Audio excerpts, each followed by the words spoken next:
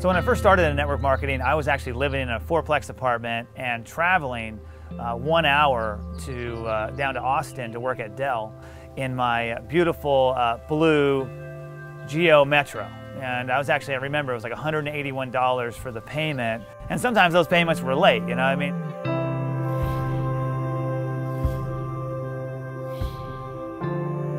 Growing up, my dad was a football coach, athletic director, and my mom was an operating room nurse. And we all got into sports. We all ended up playing, uh, you know, high school football, and we all did very well. Um, and I, I tried to take it into the next level into college, and you know, I played junior college, but figured out that after a little while that I don't think I'm gonna go pro in this anytime soon. And so um, I decided that, you know what, I need to move in a different direction. It was kind of rough because football had been my whole life.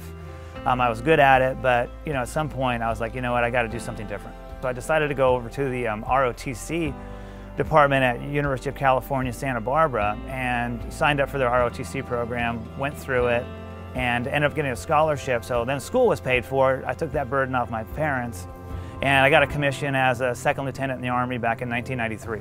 So my wife and I got married, and I was still in the Army, and I said, you know what, I'm, I'm going to get out. I don't want to be married in the Army. I need to, I want to move on. We're about to have a, you know, we decided we're going to have a, some kids, and I wanted to be doing something different, but I really didn't know what to do. It's crazy to think about where we've come from uh, to now. I ended up quitting. We had our second child, Tyler. I quit my job and haven't had a job in over a decade because of network marketing. I had a really successful business. I made a few million dollars over time, uh, spent about 12 years in that company. And when I saw the executives of that company get up and leave, uh, I was like, wow, where are they going? I knew them, I knew who they were. Um, you know, they had a big impact on all of us. And so I put a lot of things at risk. You know, there was nothing set in stone. I heard that there was things like the Founders Club and all that, but at that point, you know, we were just getting going. I would go down to the office quite a bit and I got to know the executives and the founders of ARIIX really well. And what I really noticed about them is they were always working. They were working their guts out. They were working their eyeballs out. They weren't sleeping. You know, they had red lines in their eyes, and you know, uh, they were always going somewhere, and they were always doing something. So what it told me is I needed to get to work. I needed to make sure I was working, doing my part. It motivated me to put my head down, go to work, make phone calls when people didn't want to do it, when you didn't want to do it, right? You wanted to slack off. I couldn't slack off because they weren't slacking off.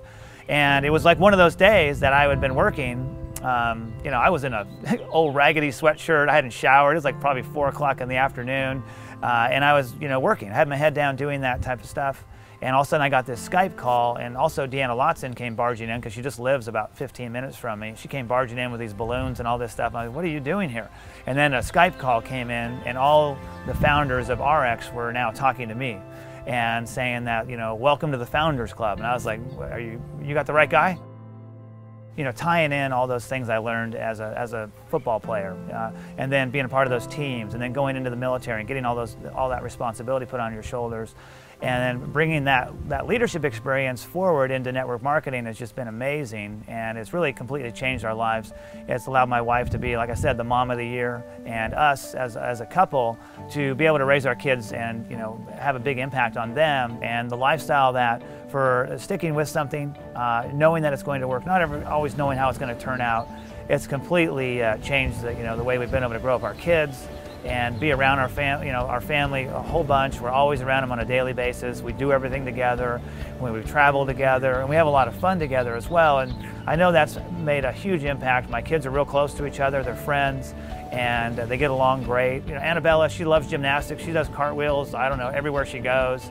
Tyler has everything about football now, and Samantha, you know, being able to get her into a private school, uh, it's just been amazing what we've been able to accomplish basically, you know, you got to be in this business. You really got to be down to earth. You got to work with people because at the end of the day, you're, you know, what's going on in your business. You're working with people. You're helping them, helping a customer get results. You're helping someone overcome some of their fears about, you know, talking to someone or doing anything, right? And so it's, it can be a lot of fun, and uh, and you got to keep it humorous, and you know, really invest time with folks.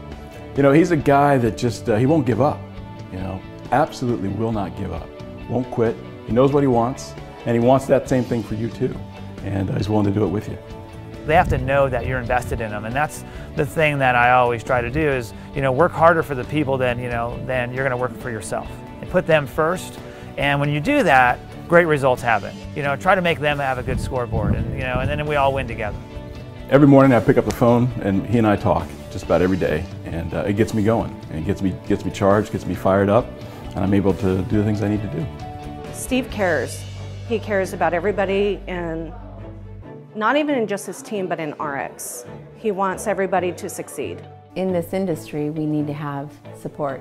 That we're in business for ourselves, but not by ourselves, and Steve has proven that to me. He's honest, he's sincere, he's, uh, he's definitely uh, accountable and dependable, and he's also a very good friend.